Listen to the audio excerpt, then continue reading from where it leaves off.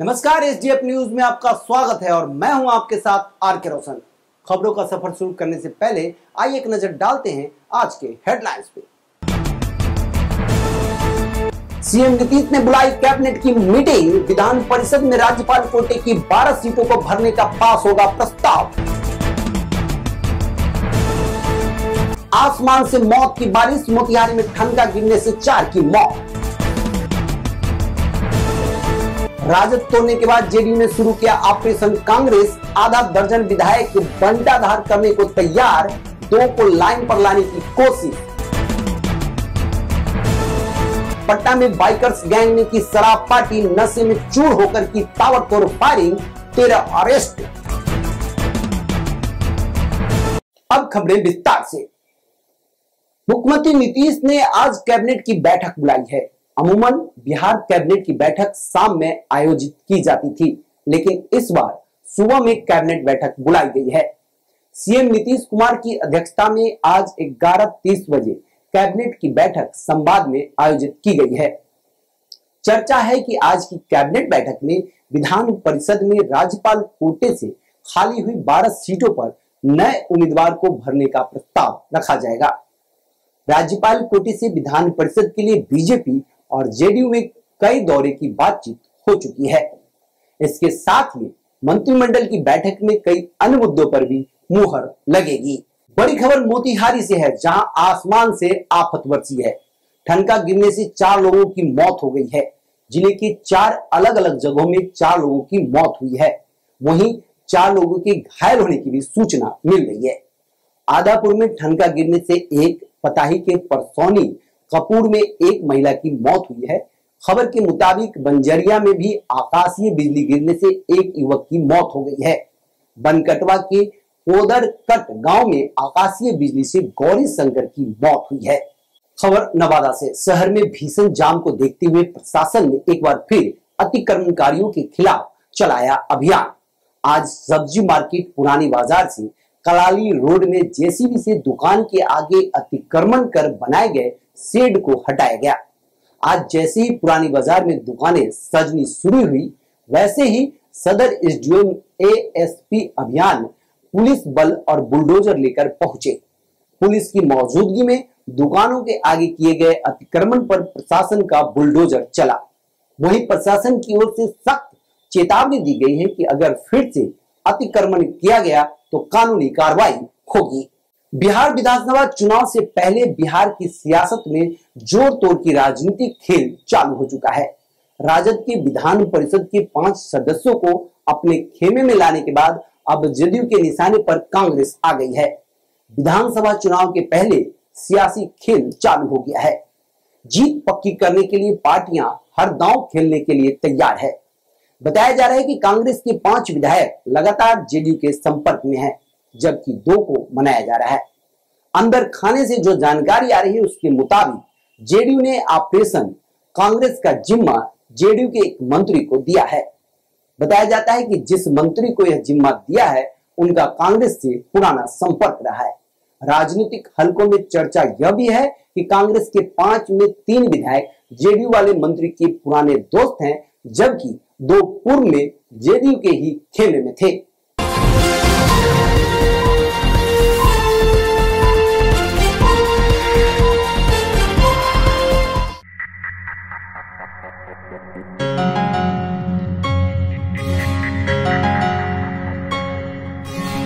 लड़खड़ा रहे थे कदम कर्ज में आ गए थे हम। छा रहे थे गम के बादल। तब भी हारे थे हम। फिर सोना गोल्ड ने किया चमत्कार। इस मुर्गी दाने से खूब बढ़ा व्यापार। अब नहीं है मुश्किल जीना हुआ आसान। बढ़ रही है समृद्धि और बढ़ा मान सम्मान। और बढ़ा मान सम्मान। सोना गोल्ड मुर्गी दाना जो प्रोटीन कैल्शियम विटामिन एनर्जी से भरपूर यह स्टीम पद्धति से तैयार किया जाता है। इस मुर्गी दाने को खिलाने से चूजों में तेज़ी से वृद्धि होती है और बीमारियों से लड़ने की क्षमता का विकास होता है। साथ ही एफसीआर भी कम होता है। तो आज ही अपनाएँ सोना गोल्ड मुर्गी दाना। सोना गोल्ड मुर्गी दाना का है वादा। कम रहे एफसीआर मीट और अंडे दे ज़्यादा।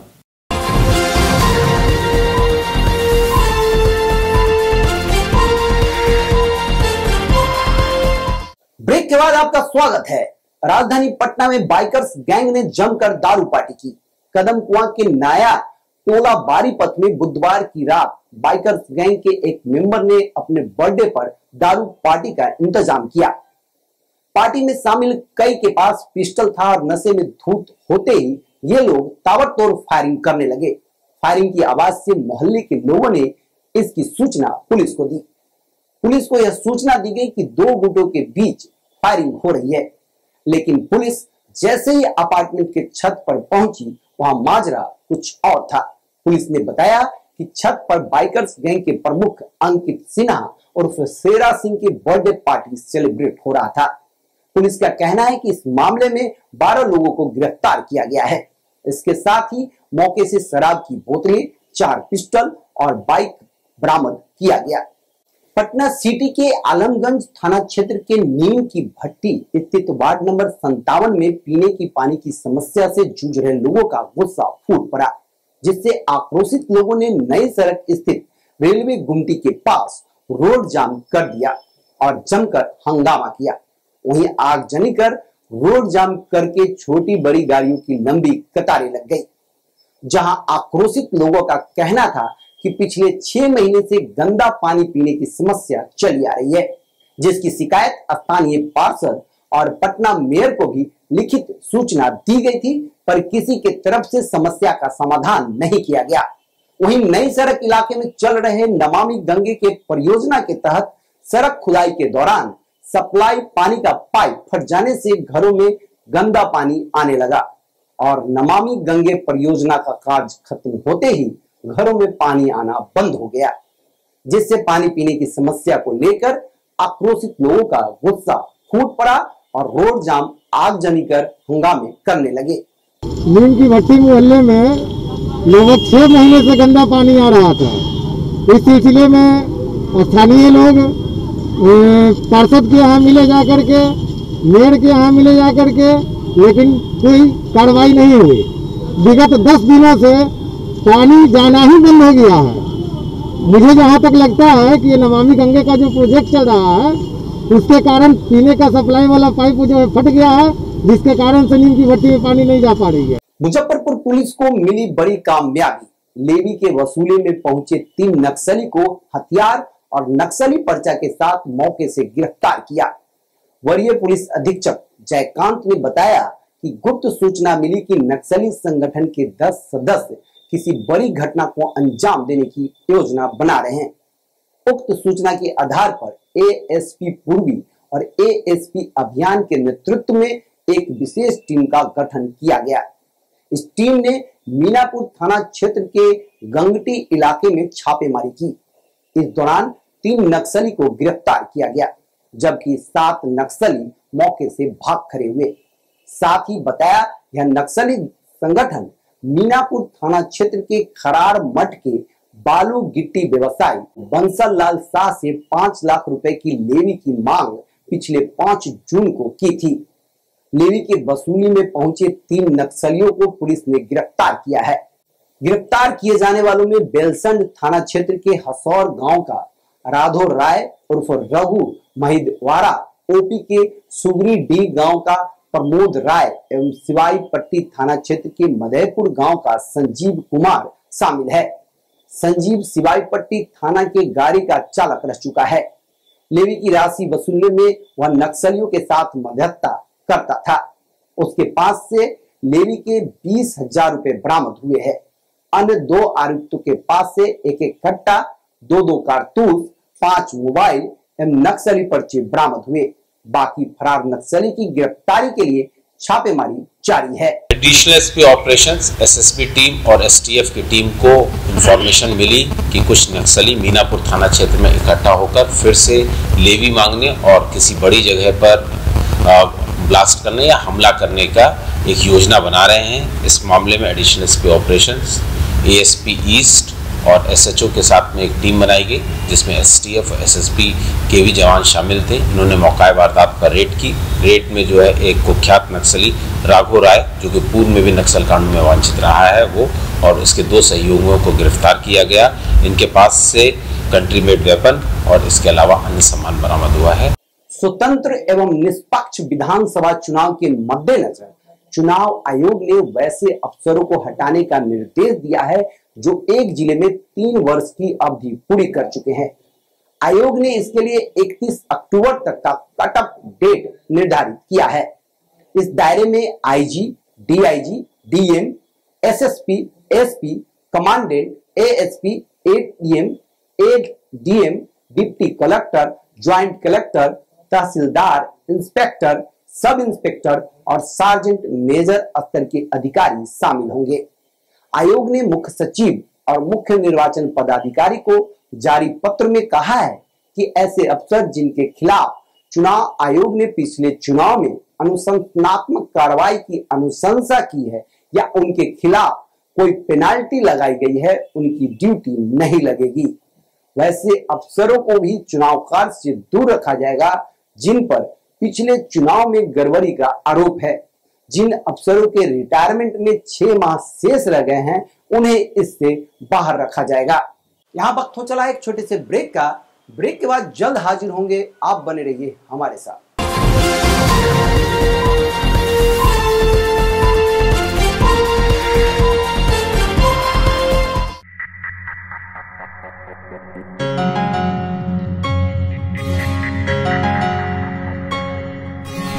लड़खड़ा रहे थे कदम कर्ज में आ गए थे हम। छा रहे थे गम के बादल। तब भी हारे कहाँ थे हम? फिर सोना गोल्ड ने किया चमत्कार। इस मुर्गी दाने से खूब बढ़ा व्यापार।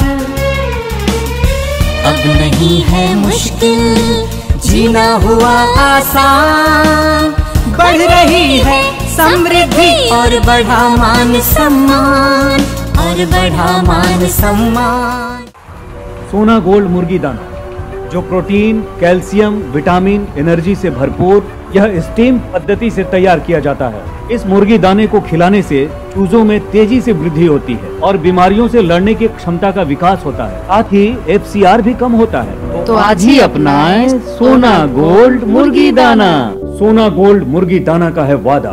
कम रहे एफसीआर मीट और अंडे दे ज़्यादा।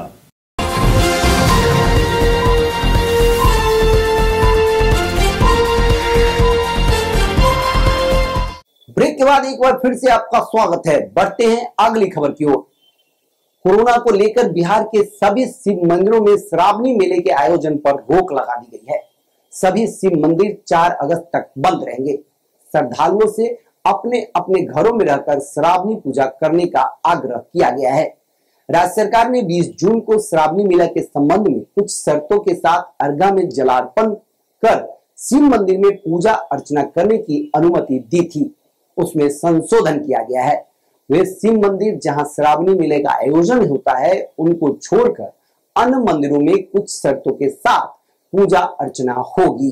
भारत और चीन के बीच हुए तनाव के बाद भारत ने उनसठ चीनी ऐप पर बैन लगा दिया। इन सभी ऐप में टिकटॉक के बैन होने से चारों ओर काफ़ी हंगामा मचा हुआ है। हालाँकि टिकटॉक को टक्कर देने के लिए मार्केट में कुछ देसी ऐप भी लॉन्च किए गए हैं। इनमें से एक चिंगारी भी है। रिपोर्ट के अनुसार टिकटॉक बैन होने के बाद एक रात में एक मिलियन लोगों ने चिंगारी ऐप डाउनलोड कर लिया है। हर घंटे करीब दस हज़ार लोग ये देसी ऐप डाउनलोड कर रहे हैं। इस बाबत खुलासा हुआ है कि ऐप के सह संस्थापक और मुख्य उत्पाद अधिकारी सुमित घोष ने डेटा शेयर करते हुए किया है कि इसी के साथ चिंगारी ने एक नया कीर्तिमान रच दिया है। चिंगारी के अलावा कुछ और देसी ऐप भी हैं जिन्हें टिकटॉक के विकल्प में यूज़र्स के लिए निकाला गया है। मंत्री जी ने एक बयान के बाद झारखंड की राजनीति में बवाल मच गया। शिक्षा मंत्री ने गजब का बयान दिया है। कहा है, जो सरकारी स्कूल में पढ़ेगा, सरकारी नौकरी उसी को मिलनी चाहिए। झारखंड के शिक्षा मंत्री जगन्नाथ महतो ने कहा है कि राज्य में सरकारी स्कूलों में पढ़ने वाले बच्चों को ही सरकारी नौकरी दी जानी चाहिए। इससे सरकारी स्कूलों के प्रति लोगों की धारणा बदलेगी तथा लोग निजी स्कूलों को छोड़कर सरकारी स्कूलों में अपने बच्चों का नामांकन कराएँगे। हालाँकि उनके बयान के बाद बड़े बवाल पर उन्होंने सफ़ाई दी और इसे अपना निजी विचार बताया। फ़िलहाल इस बुलेटिन में इतना ही। अगले बुलेटिन में हम फिर हाजिर होंगे। कुछ और ताज़ा तरीन खबरों के साथ। तब तक के लिए हमें दीजिए इजाज़त। आप देखते रहिए एस डी एफ़ न्यूज़। नमस्कार।